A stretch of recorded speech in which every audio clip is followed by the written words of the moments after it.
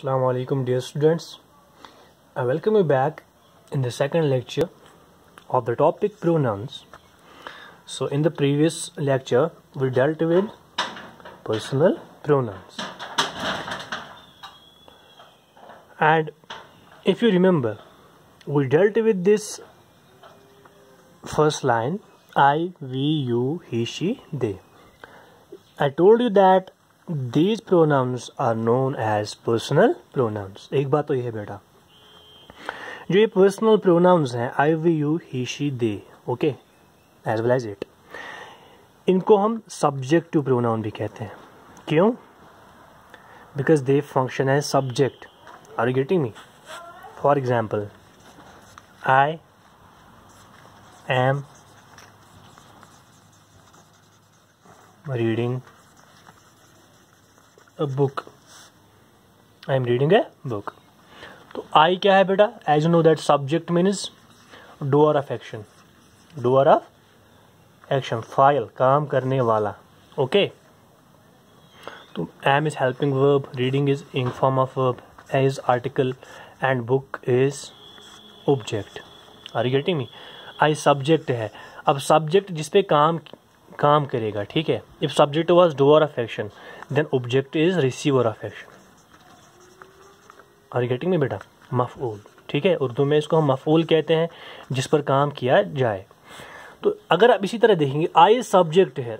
इसी तरह we subject है। We are reading you are reading he is reading she is reading they are reading are getting me so इसीलिए इन, इन सारे pronounce को आई से लेकर दे के दे तक इनको हम कहते हैं subjective pronouns today we are going to deal with possessive pronouns and objective pronouns.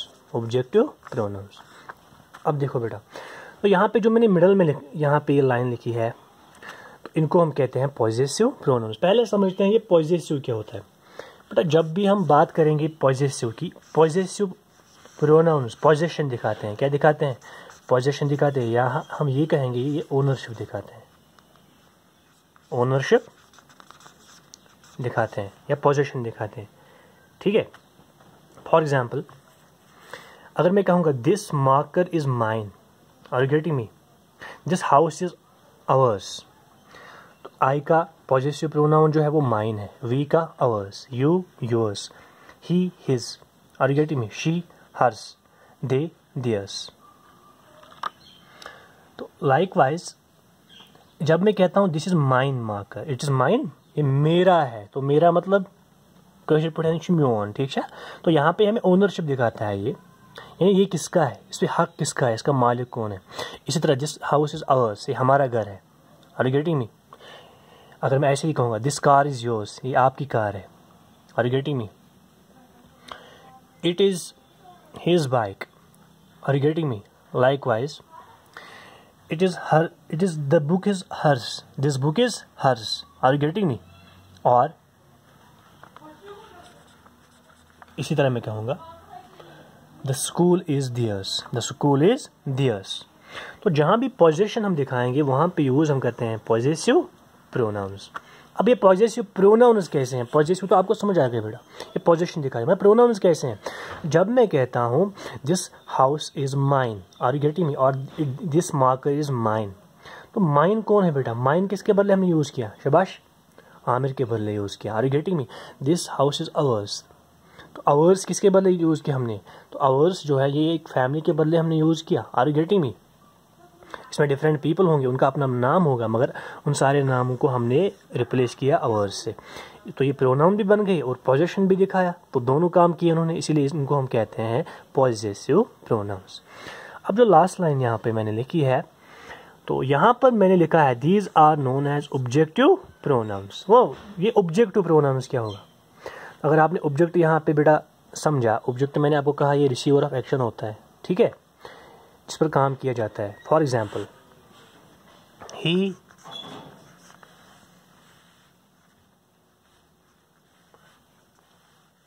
called me गौर से देखेगा बेटा। इस सेंट अगर ये सेंटेंस समझ आया तो सारा समझ आएगा।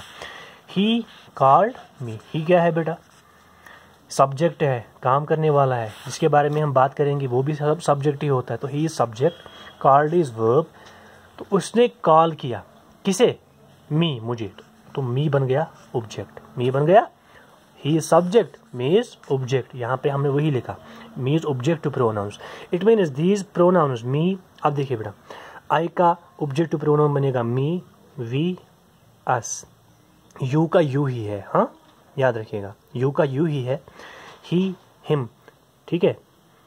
शी हर दे देम तो जो यहाँ पे ये लिस्ट ऑफ़ प्रोनाउंस है इनको हम कहते हैं objective pronouns because they function as an object in a sentence are you getting me for example he called me so me's object are you getting me इसी तरह। He played with us he played with us देखो बेटा।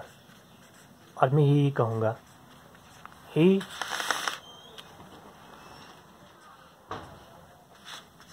ऐसे मैं कहूँगा।